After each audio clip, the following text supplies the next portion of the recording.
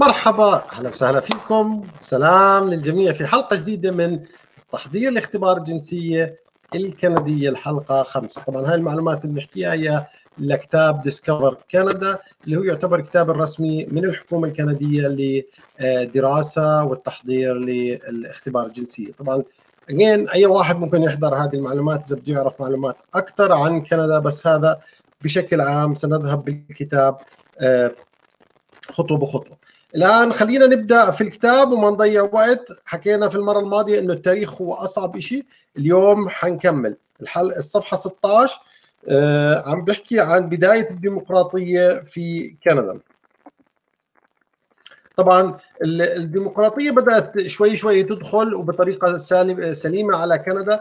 اول يعني هاي ما أتوقع بس اني anyway أول آه آه برلمان بدنا نحكي أو أي شيء تم خلينا نعمل highlight بس آه تم انتخابه من قبل الشعب كان في مدينة هاليفاكس نوفا سكوتشا في 1558 آه وبعديها بدأت آه، مقاطعة برنس اوف ادوارد ايلاند وبرونزويك نيو برونزويك آه هون تتذكروا أول مرة حكينا لازم تحفظوا ال acts كان في Quebec Act في شغلة ثانية اللي صارت بعد Quebec Act اللي هي أعطت ال Québécois حقهم اللي هو Constitutional Act هذا صار في 1791 آه إذا بتتذكروا في في ال Quebec Act سمى المنطقة Province of Quebec اللي هي آه نحكي المنطقة اللي بين الفرنسيين والإنجليز اللي هي انتاريو كيبيك هلا. صار اسمها Province of Quebec هذا أول اسم رسمي للمنطقة اللي إحنا عايشين فيها اللي هي كندا نعتبر جزء من كندا. في ال Constitutional Act اللي صار سنة 1791 قسم ال Province of Quebec إلى قسمين. لاحظوا معي Upper Canada سماه ال Province of Quebec صار اسمها واحد. Upper Canada اللي هي هلأ انتاريو ومعظمها سكانها من التابعين للتاج البريطاني البروتستانت اللي بيحكوا إنجليزي. والثاني اللي هي ال Lower Canada اللي هو كيبيك هلأ اللي معظمها كاثوليك و French speaking فكروا فيها عشان تحفظوها كويس. هم كانوا يدخلوا من الشمال من طريق النهر على كندا.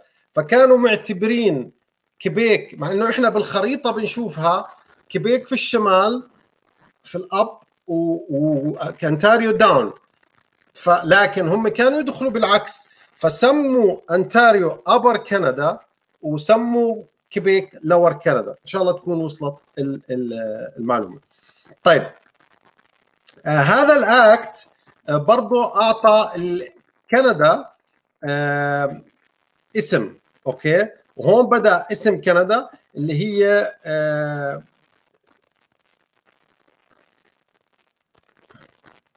أعطاهم الحق إنه يصير عندنا زي برلمان منتخب من الناس. فال Constitutional Act عمل شغلتين. أول وحدة قسم ال Province of Quebec ل Upper Canada و Lower Canada والشغلة الثانية أعطانا الحق لانتخاب الشعب. أنا بحكي لكم هو شوي ال history بيخربط.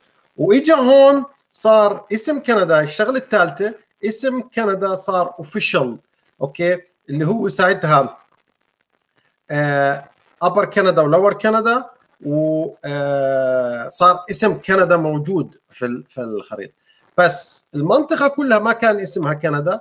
الأتلانتيك اللي هي نيو برنزويك ونوفا سكوشا وهاي الأماكن مع Upper Canada اللي هم two Canadas Upper Canada و Lower Canada كان اسمهم مع بعض British North America اذا Province of Ontario Province of Quebec هذا الاسم الأول. بعدين الاسم تحول إلى قسموا Province of of Quebec ل Upper Canada و Lower Lower Canada مع ال provinces of Atlantic colonies صار اسمهم British North America طيب هلا في شغلة مهمة اللي هي آه منع العبودية أو آه تحريم العبودية. طبعا العبودية كانت موجودة وبنا كنا عارفين عنها لكن في Upper Canada اللي هي انتاريو هلا في واحد كان Lieutenant Governor يعني هو الحاكم العام باسم الملكة اسمه سيمكو سيمكو okay? سيمكو. اللي راح على تورونتو في قصر غاد حنحكي عنه بعد شوي اللي هو المبنى اللي كان ساكنه وهو اللي بنى okay? هذا كان هو الحاكم العام للمقاطعة لمقاطعة انتاريو أو اللي بسموها كان اسمها Upper Canada وعمل منع للعبوديه في 1793 1793 وكانت كندا أول أو انتاريو أول آه، دولة تابعة للحكم البريطاني تمنع العبودية. فهذا كان شيء جيد. المهم 1807 البرلمان البريطاني منع العبودية و1833 منعت العبودية في كل الإمبراطورية البريطانية. هلأ لأنه كندا كانت مانعه العبودية وفي أمريكا في لسه عبودية في ناس كثير من ذوي البشرة السوداء إجوا هربوا على كندا عشان وسموها ذا نورثن ستار عشان يحصلوا على حياة أفضل. خلينا نحكي هون شوية. هذا هو السيمكو اللي هو Lieutenant Governor General اللي هو ال Governor أو نحكي Lieutenant Governor هو اللي اللي founded the city of York نيويورك اللي موجودة في أمريكا في مدينة اسمها يورك اللي هلأ اسمها الفعلي تورونتو هو اللي بدأها وصارت عاصمة ل Upper Canada ومن يومها تورونتو عاصمة آه، انتاريو okay? وهو أول من منع العبودية في آه، أول دولة أو أول مقاطعة تابعة للحكم البريطاني.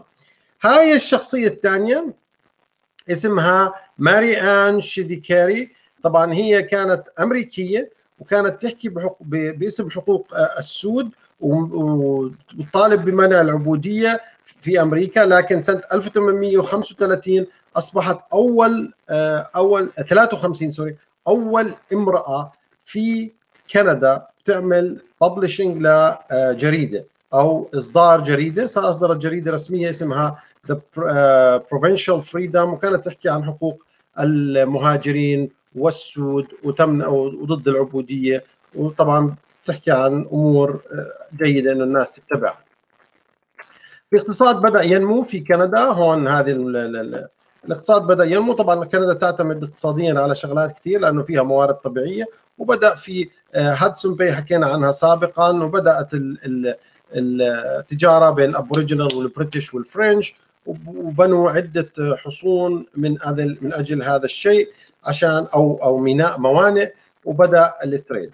الآن أول financial آه، institution يعني مؤسسة بنكية نحكي فتحت في نهاية القرن الثامن عشر وفي بداية القرن التاسع عشر Montreal Stock Exchange اللي هي سوق الأوراق المالية في مونتريال فتحت سنة 1832 ما أتوقع هذا سؤال مهم كثير بس لازم تعرفوه. طبعا أكثر شغلات كانت uh, تصير mainly farming اللي هي الزراعة ال natural resources اللي هي الموارد الطبيعية الفرو الأسماك الخشب. آه، وكلها كانت آه، تنقل عبر الأنهار والقنوات.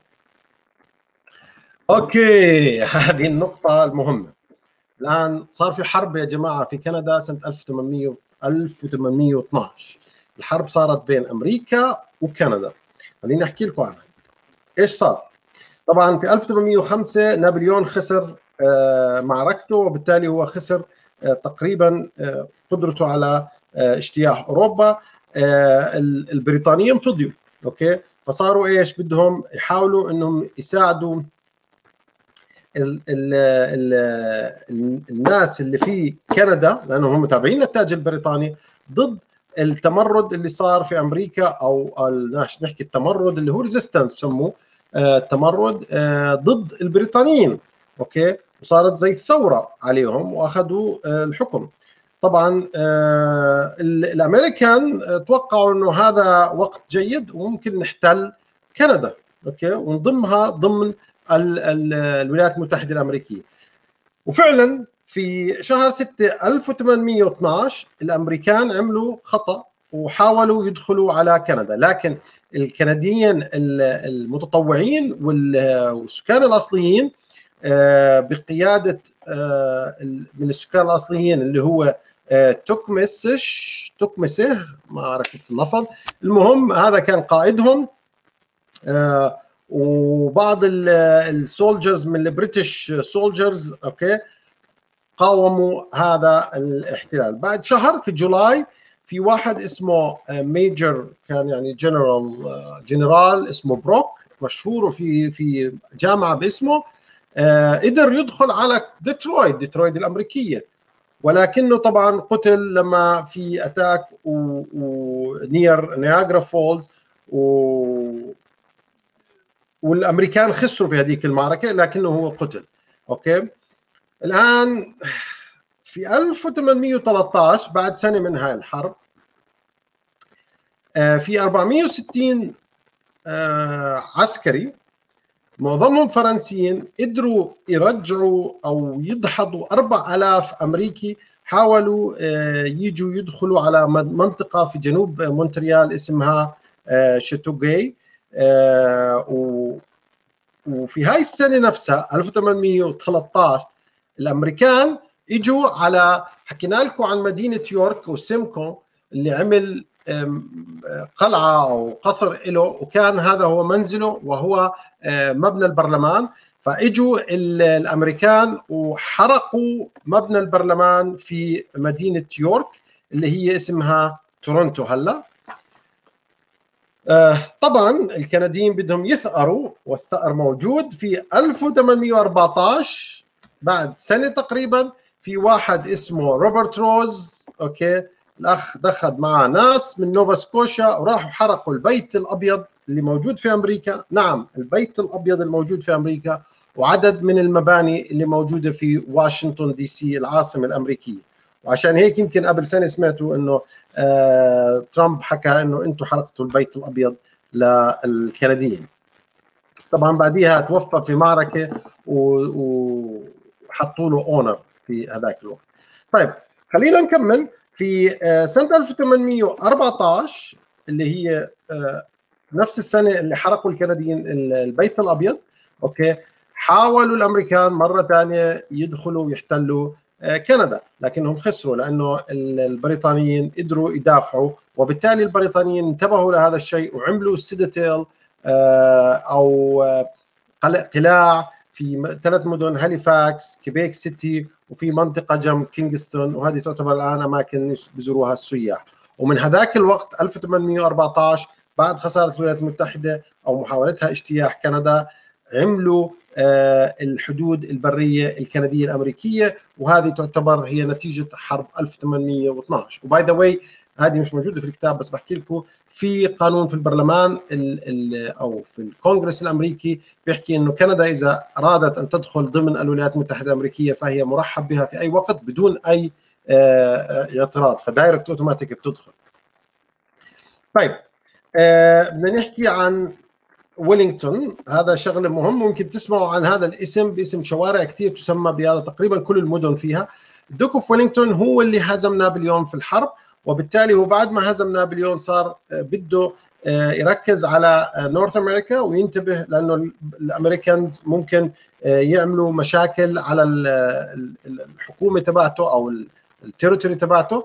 فهو من جاء واختار منطقة أوتوا اللي هي العاصمة اللي كان اسمها باي تاون يورك كان اسم تورونتو كان اسمها يورك وأوتوا كان اسمها باي تاون. وهو اللي اختارها كعاصمة تقريبا أو هو مش اختارها هي اختارتها الملكة فيكتوريا ولكن هو من عمل recommendation وهو من أمر بحفر ال Rideau Canal أو قناة الريدو اللي تعتبر من أهم المعالم الموجودة في أوتوا تعتبر أطول مكان للتزلج في على الثلج في الشتاء على أطول مكان في العالم.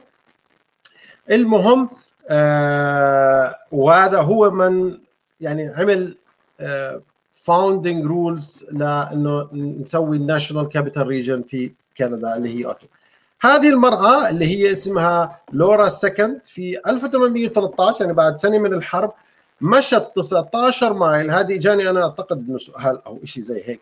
المهم مشت 19 مايل آه 30 كيلو على رجليها. طبعا عندها خمس أولاد. هي إجت مشت على رجليها عشان تحذر الكنديين إنه الأمريكان جايين يعملوا اتاك وفعلا فازوا الكنديين في هذيك المعركة وهذه تعتبر بطلة في كندا. الآن خلصت الحرب في 1000 بعد آه، في 1814 انتهت الحرب زي ما أنتم شايفين في ال 37 38 آه، صار في بعض ال reformers أو الناس اللي بدهم يعملوا تحديثات في كندا وبعض الموالين للولايات المتحدة الأمريكية وعملوا زي آه، ثورة داخلية وحاولوا إنهم يحكوا إنه لا إحنا لازم آه، ندخل ضمن الأمريكان republican وندخل ضمن أمريكا أو الولايات المتحدة الأمريكية. وصارت زي زي ثورة بسيطة ما أعتقد إنهم يسألوك عنها في مونتريال وتورونتو. وطبعا هم آه، الحكومة قضت على هذه الثورة وشنقت الثوار في هذاك الوقت وتبقت كندا آه، لحالها آه، مستقلة. حنوقف هون لأنه من هون حنبدأ في موضوع تأسيس كندا. حنحكي بالحلقة القادمة إن شاء الله الأسبوع القادم تابعونا يوم الاثنين. حلقة مهمة. أه بعرفش إذا عندكم أي أسئلة. خليني أرجع معلش أنا لأنه في موفقين بإذن الله. ربنا يوفقكم جميعا. أه أحفظ live في صفحتك لو سمحت. ال live محفوظ في الصفحة وموجود على اليوتيوب قناتي على اليوتيوب. إذا بدك تدخلي عليها آه، اللي هي الدكتور جمال الشريف بالإنجليزي. آه، آه، إن شاء الله نحتفظ بهاي المعلومات حتى ننجح. إن شاء الله تنجحوا. سبحان الله ناس بيض حسبت العبودية لذوي الألوان السمراء. يعني anyway هذا آه، نهاية الحلقة. يعطيكم ألف عافية. نراكم في حلقات قادمة اللي هي حتكون الأسبوع القادم يوم الاثنين. آه، السلام عليكم.